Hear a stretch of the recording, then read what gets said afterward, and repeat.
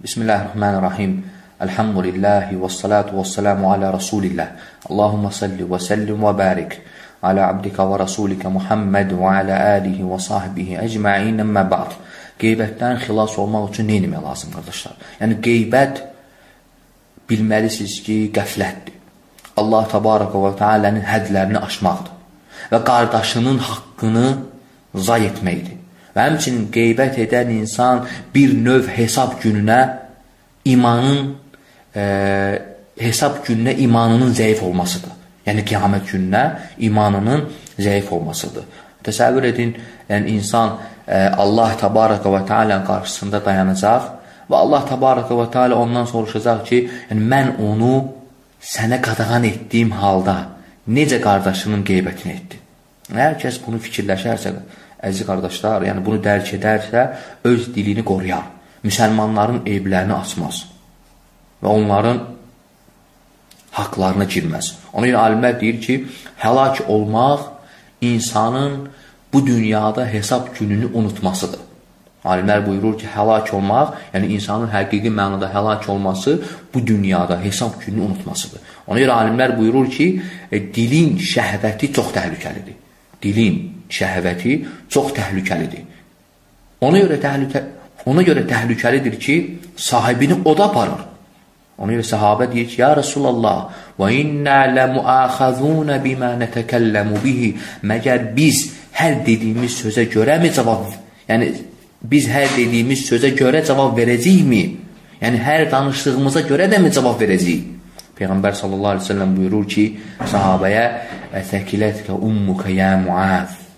وهل يكب الناس في النار على وجوههم أو قال على مناخرهم إلا حسائد ألسنتهم Anan ölsün ey Muaz. Məgər insanları oda atan, yəni üzü üstə cəhənnəmə sürükləyən onların dilinlə etdikləri günah olmadımı? Ona görə insan yəni fikirləşməlidir ki, yəni Allah Taala yəni onun hər bir dediyi sözə görə soruşacaqdır. Allah Taala səndən müsəlman qardaşlarına görə soruşacaqdır onların haqlarını neynədin? Haqları qorudun, yoxsa zay etdin? Ona görə qeybət, qardaşlar, böyük günahlardandır. Yəni, qeybət e, iki qardaşın arasını vurmağa səbəbdir. Ədavətin yaranmasına səbəbdir. Ona görə insan yəni, öz axirətini ən çox fikirləşməlidir ki, axirətdə bunun yəni, aqibəti necə olacaq? Ona görə sən müsəlman Yəni insan müsəlman olmağını heç vaxt unutmamalı. Yəni hər gün xatırlamalısan ki və bilməlisən ki, müsəlman o kəsdir ki, dilindən başqasına zərər gəlmir. Bunu fikirləşməli və qardaşının haqqına girməməlisən. Allah təbaraka və teala sənə vəsiyyət edib ki, həmçin peyğəmbərimiz sallallahu alayhi və səlləm sənə vəsiyyət edib ki, qardaşının eybini örtəsən. Məgər sən onun qeybətini edəndə eybini açmış olmursanmı?